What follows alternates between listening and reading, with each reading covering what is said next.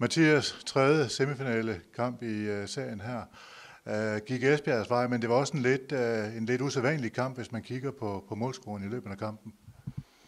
Ja, vi, vi har haft god tur med den i de første to kampe med mange mål, og ja, vi, vi ved, at vi kan skabe chancerne, og, og vi får ikke lige på så mange ind i dag, og ja, vi skal ud og arbejde noget hårdere, især for målet og få nogle flere pukkmål.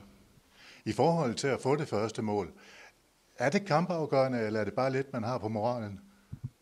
Ja, jeg ved ikke, om det er kampafgørende, men det er selvfølgelig vigtigt. Det giver et boost til hele holdet, og ja, det er vigtigt, men øh, vi har vist, vi har, vi har været bagud i den her serie i Esbjerg, og kommet godt tilbage, og, og det gav et, øh, et endnu større boost.